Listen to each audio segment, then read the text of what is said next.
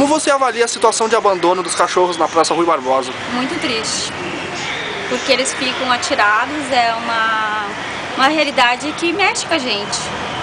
Eles ficam atirados, com sede, com fome e praticamente ninguém faz nada. Todo mundo passa, reclama, mas ninguém faz nada. Esse é um problema de todo mundo. Acho que se todo mundo sensibilizasse, fizesse alguma coisa em função dos cachorros, fosse na prefeitura, reclamar, procurar um canil para colocar eles, eu acho que já resolvia o problema, porque eles têm que ser alimentados e cuidados. São puras sarnas. Como você avalia a situação dos cachorros de rua na Praça Rui Barbosa? Ah, eu, é uma situação péssima, porque não é só aqui na, na praça Rui Barbosa, mas também nas outras praças que tem lá em cima, da São João, nas esquinas também de, da periferia, da, do cais também, tem bastante desses cães perdidos aí, então passando doença também com as pessoas.